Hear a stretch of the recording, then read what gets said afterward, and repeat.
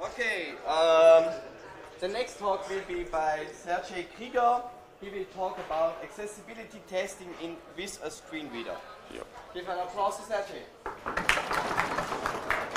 Hello, everybody. Thank you very much for coming. And before we start, let's test the sound because we will need the sound today. Accessibility testing with a screen reader. Google Chrome. Sergey Win. Accessibility testing with a screen reader. Web content. Hi there. Slash 6754880 dash mile dash icon dot svg image. What's up? Slash 6754880 dash mile dash icon dot svg image. Slide content. Auto voiceover off. And sound is working. As, as you could see from this simple example, sometimes there's a big difference between how the page looks and how it sounds. And this is exactly our topic for today. We are going to talk about screen readers and how they work with our pages and how we can test web pages with a screen reader. My name is Sergei Kriger. I'm a front-end developer at the company called Sinnerschrader. It's a big web agency in Germany, uh, located in Hamburg and with offices in Berlin, Frankfurt, Munich, when I'm from, and also in Prague. And we are building web applications for the clients like Allianz, Audi, BMW, and many others. And among front-end development, I'm really interested in accessibility topic, and this is something that we are going to talk today about. But before we uh, go deeper into screen reader topic, let's discuss first what screen readers actually are and why we as developers can may need screen readers.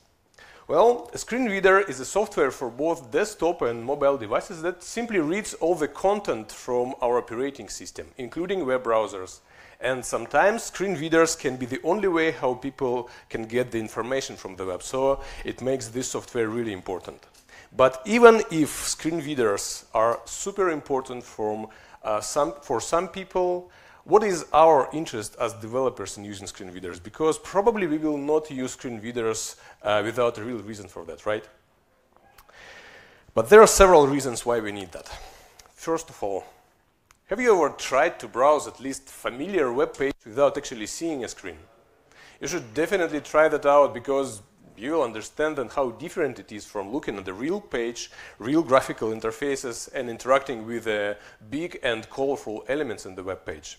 But there's a big group of people, people with visual impairments, who interact with the web exactly that way. And those people, they are also our users, and we as developers need to understand their way of interacting with our web pages. Also, accessibility is not optional anymore. Uh, more and more companies want their website be accessible, and it's our job as developers to make those pages accessible. And if you guys still don't have that skill, you're in the right place today. I'm going to show you in practice how you can use screen readers for testing accessibility of your web pages. Last year, in October, an organization called WebAIM has conducted a big survey about screen readers.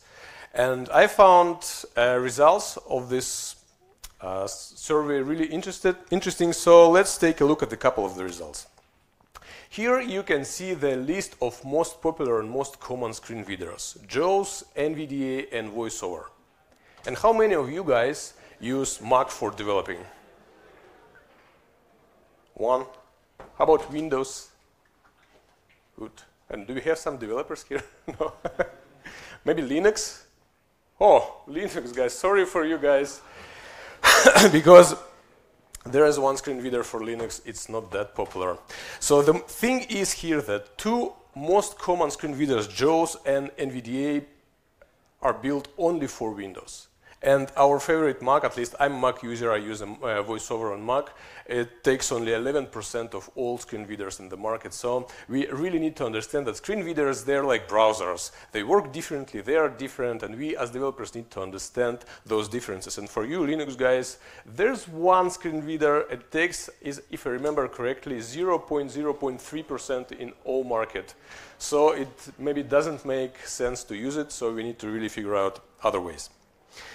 And here is a list of things how screen reader users actually um, use our pages, how they navigate through our pages, how they searching information uh, from our pages. And this information is super important because when we are testing our web pages for accessibility, we don't want to waste our time for testing something. We need to know exactly how those people are using our web pages and we want to test exactly those things. And the practical part of my presentation is built uh, exactly on these things, almost entirely on these things, and uh, we will uh, go through uh, all these things a bit later. All right, now we know what screen readers are, and I hope now you understand the importance of screen readers for accessibility testing. So how exactly, in practice, we can use screen readers for testing? We will follow today this simple plan. First of all, I will talk, uh, we'll talk about uh, how we can set up different screen readers in different operating systems. And then I will introduce you a couple of problems you will definitely meet when you're just starting with the screen readers. It's very important. I had those problems. I know some of my colleagues had the same problems. So I'm here today to tell you what those problems are and to tell you how you can really quickly and smoothly go through them. And then I will introduce you a checklist, a checklist for learning screen readers. And we will go through that checklist step by step and understand how we can use screen readers and what uh, is important when we are testing screen readers. If you're a Mac user, and probably there's only one Mac user here, uh, you won't have any problems because screen reader, voiceover screen reader on Mac is already installed, it's already pre-configured, so you, the only thing you need to know about screen reader, how to start this screen reader and how to use it, and we will discuss how to do that. And if you're planning to use NVDA screen reader, the situation is a bit different. First of all, NVDA screen reader is a free screen reader. You can download it for free in the official website. So in order to install it on your machine, go to official website, download it. And before you download, you will be kindly asked to donate some money which is optional, but since this screen reader is built by two blind developers from Australia, and it's free for all the users, I don't see anything bad in donating some money supporting developers, but it's optional.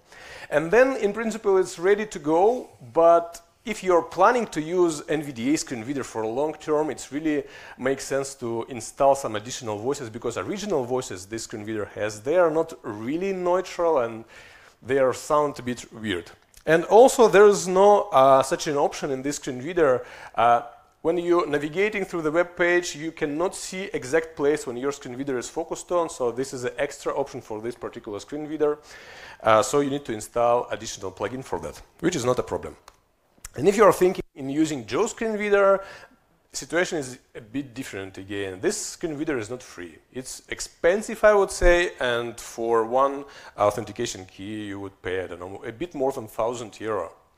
But there's I know that doesn't uh, sound really optimistic because it's quite expensive, but there is a nice option for web studios, for example. At least my uh, web studio bought us one single USB dongle. It's a, it's a physical USB with a secret key on that, and everybody who plugged in this uh, USB is able to legally use this screen reader until this USB uh, is plugged in. So uh, the price is the same, but our agency bought just one USB uh, dongle for all the developers and we're using it one after another. So it's not a problem at all. And if you are not sure if you want to use JAWS Screen Reader and, or just want to try it, uh, there is an option to use this screen reader for 40 minutes for free. And after 40 minutes, you will need to reload your page, uh, your not page, your operating system. And then you'll uh, have another 40 minutes, which also can be an option. And here we go. This is uh, really important information. There are a couple of super important problems that can totally kill your motivation in learning screen readers. And I'm going to list all those problems today. But before, I'm going to tell you a really funny short story from my personal experience. I was a Windows user for years, and I bought my first MacBook Pro six or maybe seven years ago. And at that time, I didn't know how to use Mac. And I, if you know this problem when you're uh, moving from Windows to Mac, it takes some time until you, until you get familiar with the operating system, until you can do some stuff there. So I didn't know anything about that. And at some point, accidentally, I clicked a couple of uh, keys in my keyboard, and suddenly my MacBook Pro, new MacBook Pro, started talking to me. It was super weird at the time. Uh, I didn't know about accessibility, anything. And I didn't know even why people would need screen readers. So I just know, didn't know how to do um, anything with my computer, and the best solution I found at that time is simply reload, reload the system, and to be honest, it helped. but I'm pretty sure it's not the best way of dealing with a screen reader. So the first super important thing you need to know about screen readers is how to quickly start a screen reader and how to quickly exit it. And here you can see the shortcuts and some other options for three most popular screen readers. We're going to talk about these three screen readers today. And the first thing you need to know, you can start and exit your screen reader from the menu. And this probably is the fastest way when if you're really beginner. So if you open your screen reader for the first time, don't use shortcuts, just go to menu, open it, close it, just memorize how to do that. And once you get uh, tired of screen reader, you know the way how to exit it. This is really important. And then once you get familiar with the screen readers, it's nice to uh, memorize those shortcuts. Uh, you, you can see now so you can open screen reader really quickly. And by the way, you don't need to memorize all these shortcuts because at the end I will um, share the link to this presentation. So it's already online. And if you see an asterisk next to shortcut, that means that this shortcut is valid but not active by default and you need to do it manually in the settings. So now you know how to quickly start screen reader and how to quickly exit it. Super important if you want to be uh, efficient with the screen reader. And the next thing maybe even more important that you need to know is how to shut up your screen reader. This is super important because when you start your screen reader, it's going to talk to you a lot. They cannot do anything. They are just talking and talking everything. Status of your operating system, status of your active application, your focus element you're focused on, and many, many uh, other things screen readers think important for us. But we don't need all this information, right? We only want to test something and exit screen reader and we are done. So you really need to know, especially at the very beginning, how to shut screen reader up. And this is super simple. Just click control key and screen reader will immediately stop talking. And once you click this uh, key again, screen reader will continue talking from the place you stopped him. This is really handy. And another important thing you may need to know about screen readers is the screen reader key. Screen reader key is a combination of one or maybe two shortcuts in your operating system, which, in addition to other shortcuts, can perform all the actions screen reader uh, has from keyboard only. And this screen reader key allows you to have unique shortcuts in your operating system for a particular screen reader, which is super important. And also, screen readers are smart enough to work differently with a big keyboard in your desktop machine and tiny keyboard in your laptop. So you may need to uh, know which keyboard you are using and you can go to settings and change the keyboard type. All right, enough theory. This is a practical part. This is a checklist, guys, I created especially for you. And today, right now, we are going to go through this checklist step by step and I will show you how to test real web page with this uh, with these things. But before we go uh, further, a uh, small disclaimer. You will see me reloading this page time to time and if I do so, just know it's not cheating. That means that this uh, presentation engine I'm using today, it's not perfect yet with working with screen readers. So in order to provide you a better screen reader experience today, I need to reload uh, the page a couple of times. So let's go. Headings. Headings are super important for all screen reader users. According to statistics, most of screen reader users, when they just land on the web page, they first go through all the headings. They scan the headings in order to understand the page structure, in order to understand what is this page about, and then they make a decision either they want to stay on the page or they want to leave it. So it's super important to have all headings readable and reachable and accessible by screen readers and also important to have a proper uh, heading structure in your web page. And here is a demo page. Uh, and we are going to test this demo page. There's nothing in this page, just some text and some headings. And we are going to start screen reader now and test all these headings. But in order to make our screen reader experience uh, much, as much closer to the real screen reader users as possible, let's do a trick. As screen reader users, we are probably not supposed to see the screen, so I'm simply switching off the light and now I'm going to start my screen reader and try to go through all those headings we just saw. Home, accessibility testing with a screen reader, Google Is it enough loud? Good. And now I'm going to use a shortcut from the previous slide and try to go through all the headings. Heading not found. Good. VoiceOver off. Screen reader couldn't find any headings, but again, if you look at the page, we clearly see that there are some headings, right? At least from the styling point of view. So let's go to the code and debug a bit. And these are our headings. And you can see that these headings are not real headings, they are just divs styled like headings, which from the visual point of view doesn't make any difference. But for screen readers, if you want our headings to be accessible by screen readers, we really need to use proper text H1 to H2. This sounds really obvious and maybe a bit silly, but people are still using divs for everything, which is stupid. And here's the same page with the proper headings. So now let's try to uh, switch off the light again, start the screen reader and try to read them. Home, behavior, accessibility testing with a screen reader. Heading level 1, giant panda. Heading level 2, behavior. Heading level 2, diet. And You are currently on heading level And the same way with the shift key, I can navigate backwards. Heading level 2, behavior. Heading level 1, giant panda. Voiceover off. Good. And now we know that our page is accessible at least from the headings perspective. So all the headings are um, readable and all the headings they have a proper structure so the uh, rule of thumb here is to have one uh, main heading which is h1 and then keep the really uh, clear structure of the headings depending on the chapters depending on the information you have in the page good now our headings are working let's go further the next thing we are going to test are links. Links are also really important for screen reader users.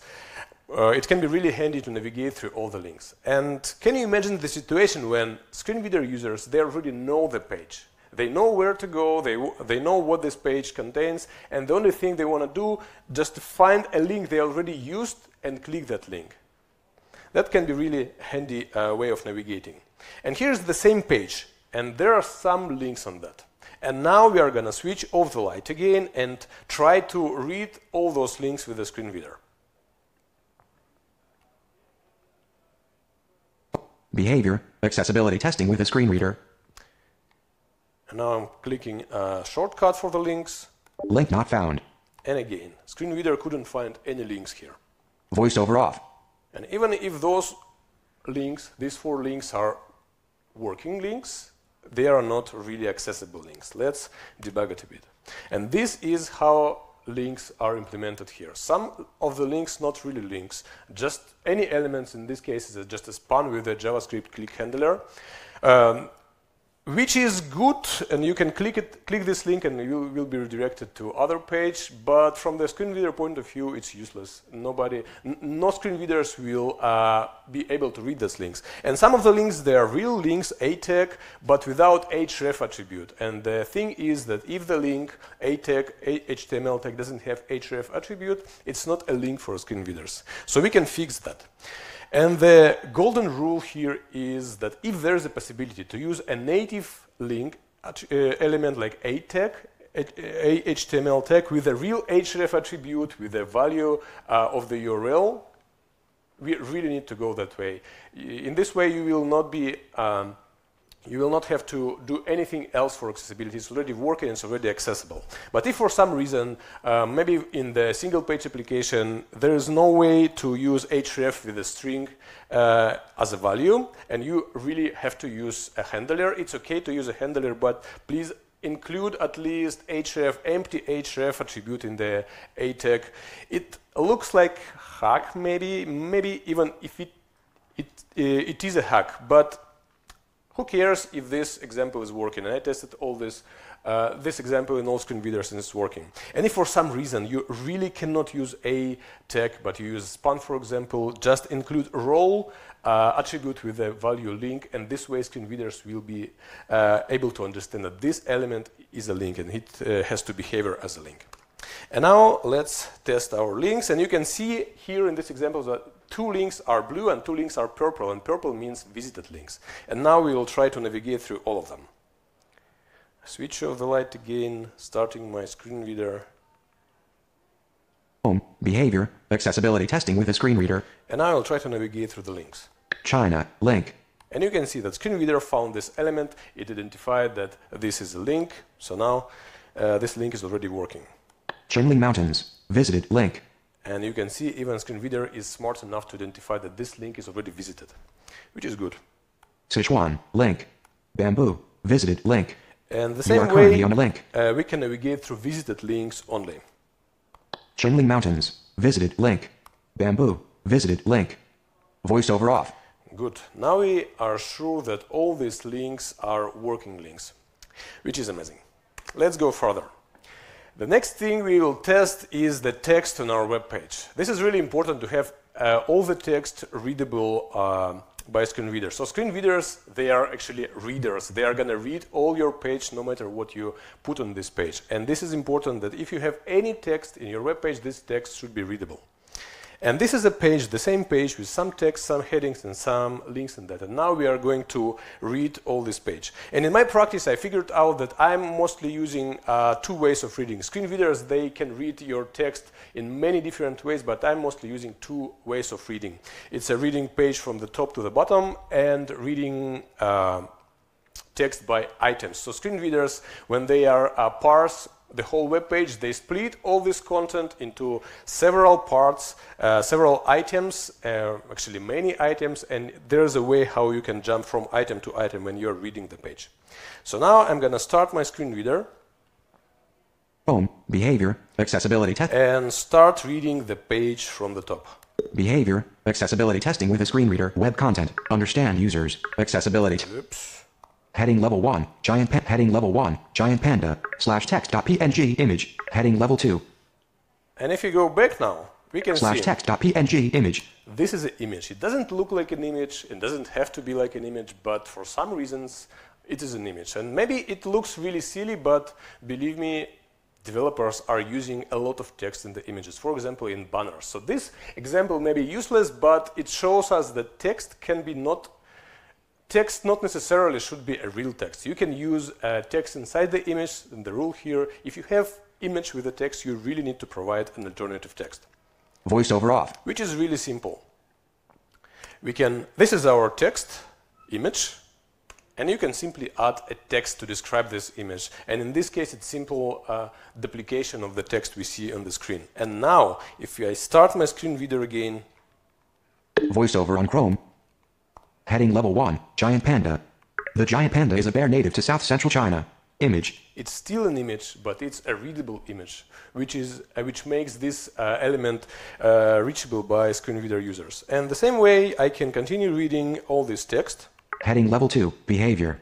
The giant panda spends its life roaming and feeding in the bamboo forest of the visited link. Qinling Mountains. And you can see that screen reader split all the content on this page into uh, items. And just to say, uh, this way how screen readers uh, split all the content is really different. You can control this um, way by changing verbosity settings. But the thing to understand here is that you will have many, many items and you can navigate through those items really simple. Voiceover off. Okay, now we are able to read our page. What is next? And next is landmarks.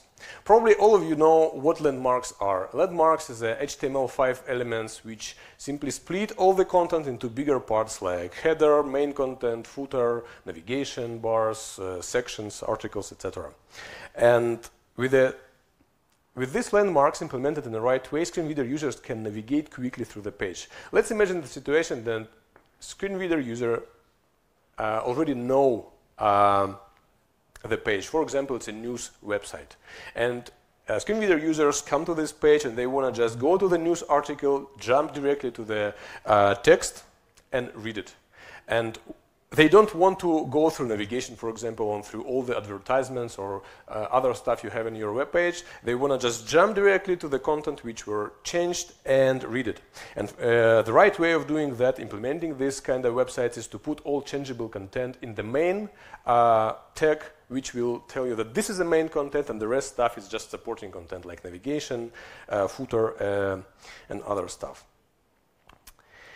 And screen readers are smart enough to be able to read all these um, HTML5 elements like uh, headers, footers, etc. Unfortunately, uh, mm, VoiceOver Screen Reader on Mac doesn't have a dedicated shortcut for navigating through the landmarks, so we cannot test it directly this way, but there's another way of testing landmarks. So we won't uh, test our landmarks right now, we will do it a bit later, but before we do that, I'm going to tell you about uh, navigation tool.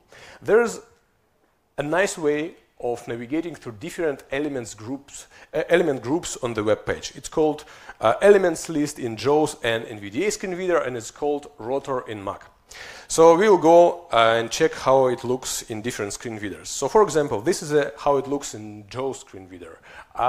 I was able to open the list of all the headings in this page. Uh, this way I can open, uh, this is a landmark, sorry, and this is a list of headings, and the same way I can open the list of tables, the list of images, the list of, I don't know, lists, and navigate through them really quickly. This is just a list of different elements groups. And in JAWS you can set it up manually uh, in a way you want. In NVDA screen reader, there is also a way how to read all the landmarks. That's what you see now in the screen. And for example, through headings, and there are five uh, element groups you can navigate through. It's uh, headings, uh, links, elements, forms, buttons, and landmarks. And in Rotor tool in the macOS, uh, it works exactly the same like in JAWS. You can navigate through landmarks, navigate through headings, and you can set it up uh, manually. You can choose from the list uh, element groups you want to navigate through, and they will appear in this navigation tool. And this was a theory. Let's now see how it works uh, in practice. So this is a bit more complicated demo page. Uh, visually, it has a header, has a main content, has some footer, two navigation bars in the header and in the footer, and some links.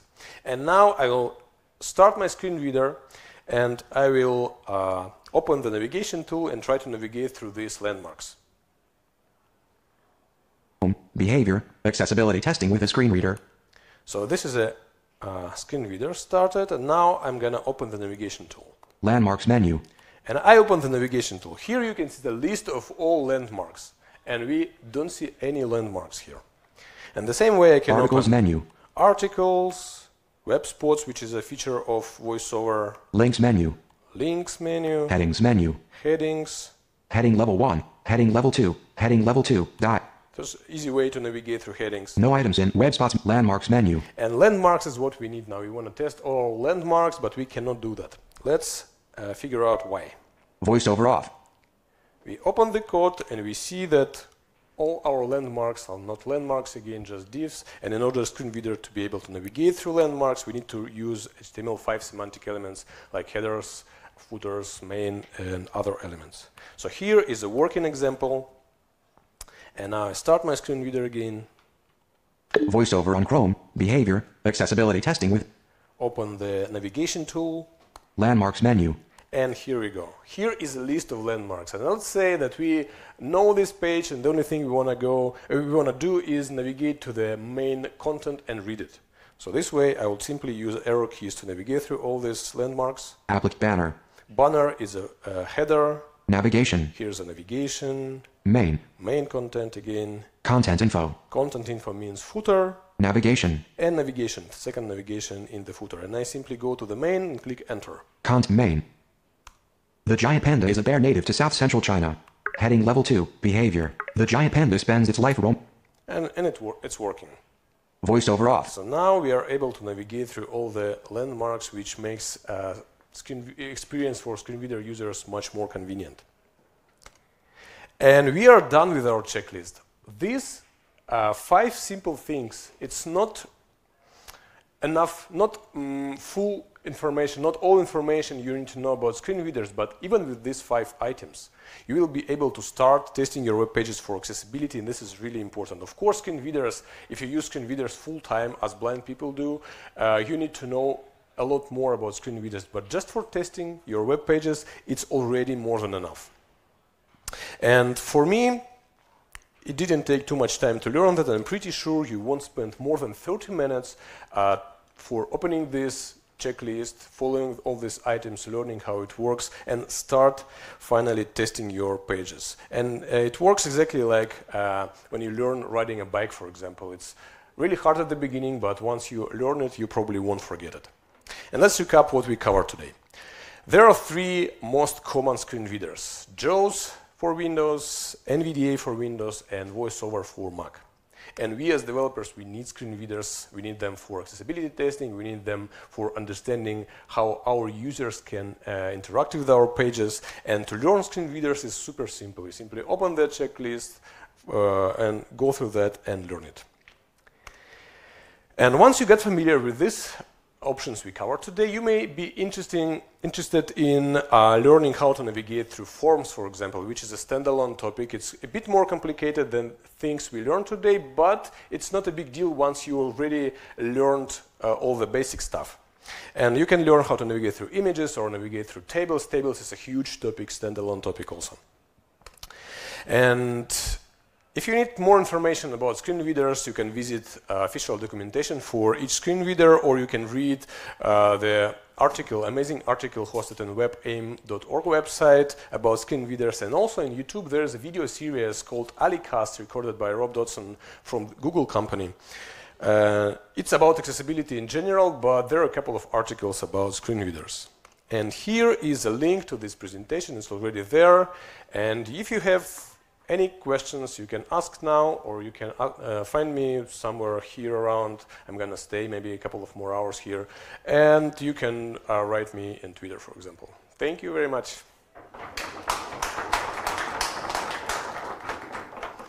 Any questions? Nope. Thank you. Oh, one.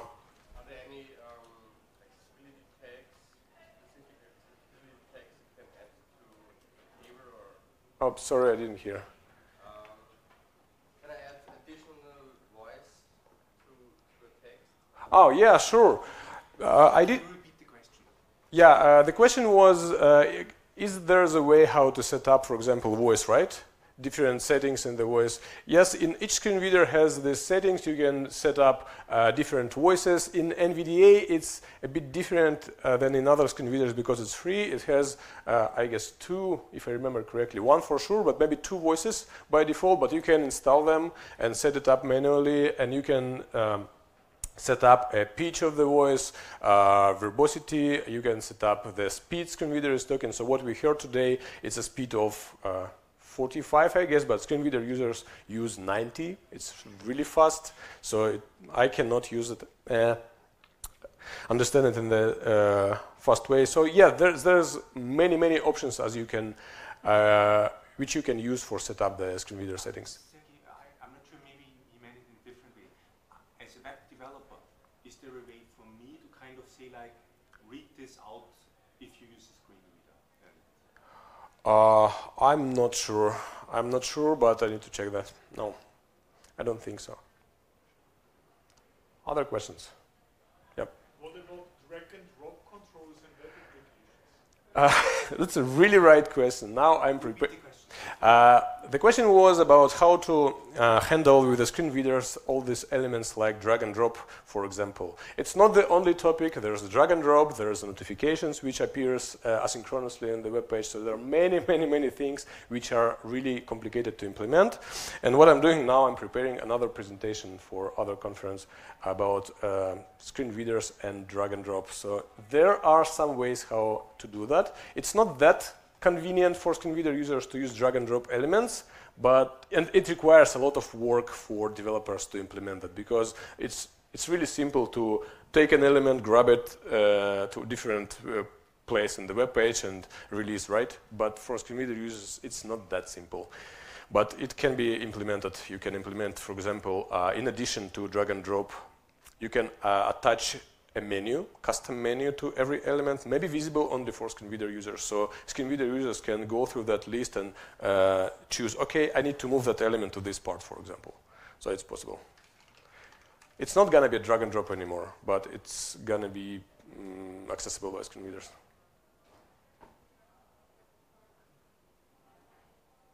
More questions? Good. Thank you very much.